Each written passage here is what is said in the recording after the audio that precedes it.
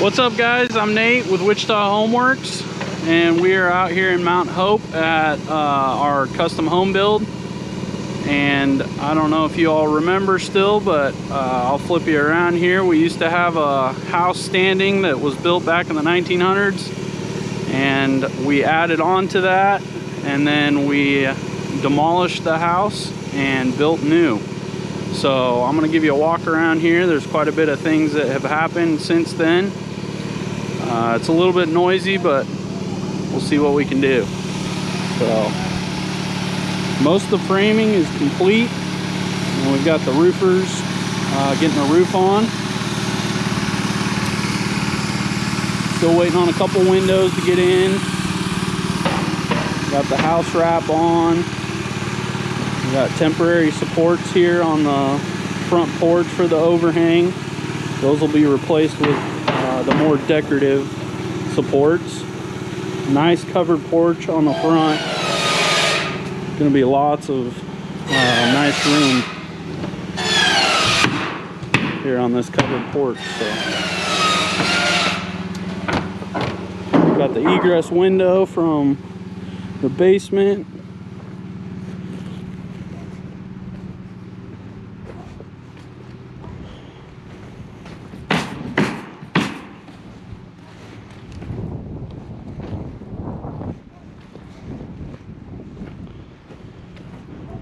And then on the back side here, we also have a just a little area that's covered by the porch. And then once we're all finished, we're gonna backfill this and pour a nice big patio out here.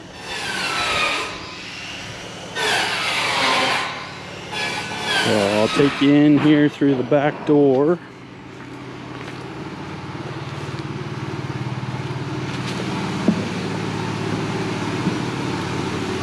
All right, so this is gonna be the living room space. We're marking out the fireplace here. We're gonna be framing that in. Then we're gonna have kitchen and an island back there. A nice walk-in pantry. And then this will be uh, somewhat of a mud room passing between uh, the garage space. So once we're all finished here, we'll move all the plumbing and we'll get the uh, concrete floor filled in all the way. And we've got laundry back here.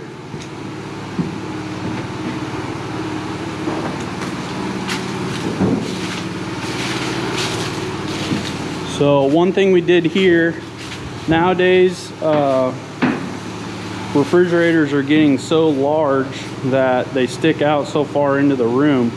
So what we've done is we've actually turned the uh, studs so they're flat uh, to give us about an inch and a half to two inches of added depth uh, for that refrigerator. So once we get the cabinets in on each side of that, uh, then we can recess that, that uh, refrigerator all the way back into that space. So then off of the kitchen,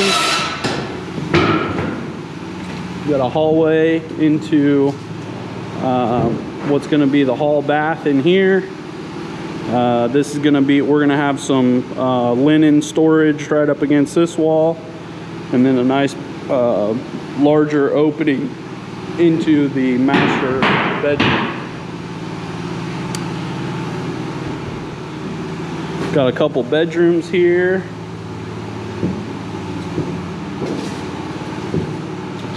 Then we're gonna have a Jack and Jill bathroom here. So from both of these uh, bedrooms, you'll be able to access the bathroom here.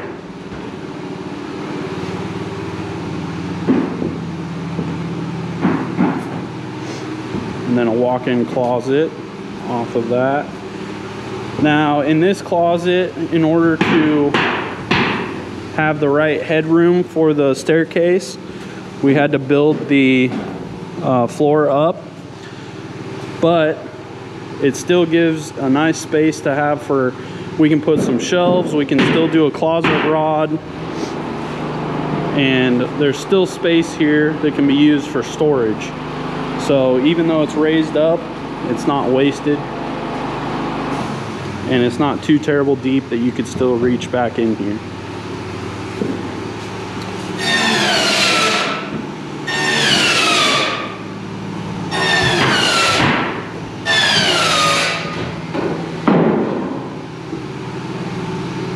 So then through the master, nice big window out front.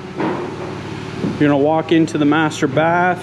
You'll have a walk-in closet on each side. Then we're gonna have a his and her bathroom vanity on each side. You got your water closet here. And then we're gonna have a built-in uh, linen closet here, as well as a walk-in shower. So this will all be shower space. We won't need a door. It's gonna be a nice big space. So if you remember on the outside, we've got that uh, egress window from the basement. And in order to have the right room for a legal egress window, we actually had to bring the header to run across there up into uh, the first floor here. And then what we did is we took uh, the engineered straps and it's holding up the two floor trusses that we have running through here. So uh, plenty of support for everything. But uh, we were able to still make that window work down there. So there's always different options for everything we come across. All right, so uh, once we get framing, the roof uh, all finished up and we get the windows in, uh, things should be what we consider dried in, meaning that they're weather tight and secured. So then we can move to the mechanical, electrical, plumbing.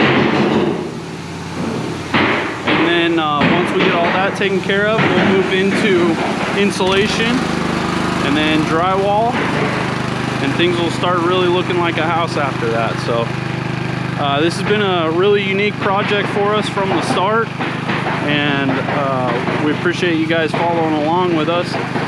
So if you guys come across any projects uh, and you're looking to get an estimate on it, we'd be more than happy to talk with you and see what we can do to make it happen. So I hope you all have a good week and we will see you next week.